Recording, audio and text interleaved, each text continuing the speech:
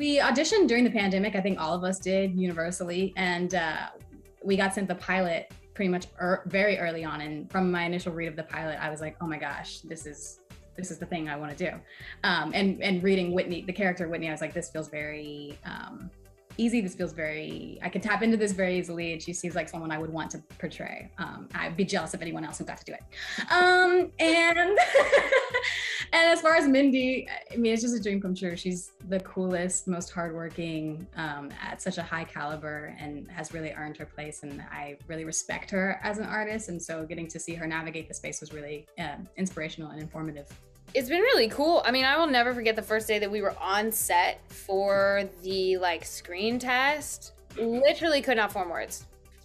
Could not form words. I was just camera test. The, the, the like day we did all that like oh yeah yeah yeah yes could not form, form words um it was wild and then also just from like the second that you like the second that we read the pilot um it, it was just so strong on paper um standing alone that i was like oh there's there's so much room in here. There's there's so many different places to go because it is already like the caliber of the writing per mindy per justin per the entire writing staff like and team is crazy. Um so it felt felt very lucky and very surreal. I felt blessed. This is so weird but blessed to be a brown girl that can say dick and cock on the screen and talk about sex because no brown girl has done that yet. And that is that is crazy to me. Um, so I felt, I, I felt blessed, I guess is, is, is, is the word to say. Yeah, I loved it. I mean, I read the pilot. I fell in love with the pilot. I thought the writing was so good. And then I fell even more in love with Kimberly. And I was like, oh, I want to say these words. Please, I want to say these words. So it was just great. And then, yeah, working with Mindy was incredible. It's just so great to meet someone and work with someone who really is in love with what they do clearly mm-hmm. and is also very serious about it yeah. so it was just a really nice mix and i think she was very inspiring for all of us the kind of work ethic that she had I also want to talk about your dynamic because it seems like you guys clicked just immediately on screen. And obviously, filming during the pandemic and auditioning during the pandemic, what was those chemistry reads like? And how did you kind of build that friendship in real life? We were on Zoom for the we first time. any chemistry reads. We met like at the re- like we we had a we met on South IQ Way. the four the, the four the first time the four of us saw each other. Yeah. On South IQ Way in Burbank, California. Yep.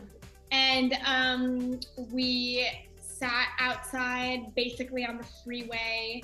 It was like a balcony that overlooked the freeway, and we wore masks six feet apart and Alyah had these like card games, and we would like play cards. You know, like the, the question, uh, "We're not really strangers." Those card questions. I was like, I'm so anxious. I don't know how to meet people. Also, I've been inside for like months. I don't know how socializing works. Do you want to play a card game? And so we just started talking about our moms and crying and it, it was nice. Well it was great. Um, i mean like i was literally like i feel like we probably all were. Like i feel like every time and it had nothing to do with like the group. It had to do with like covid. It had to do with meeting new people. It had to do with I have no idea what the hell I'm doing. Like we're all stepping into this new space.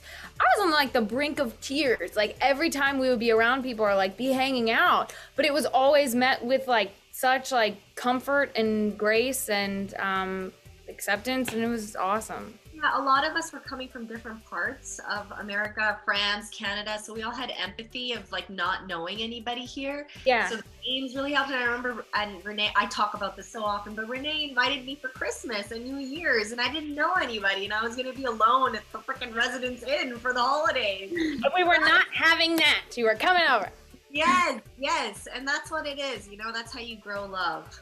We'll get together and watch the Real Housewives of Beverly Hills on every Wednesday. Every Wednesday. Wednesday. That's adorable. This is what would happen a lot is that at sometimes on set, like Alyah and Reneé would be like talking in a corner and I'd be like, oh gosh, okay, like, what are they talking about? And I'd go over and I'd be like, it's serious because they're like huddled together. And I'm like, like hear what Kyle said to Dorit because was, he didn't. oh my God. Erika has some serious going down. So like that's serious oh conversation. My God. Also, there's a four part reunion.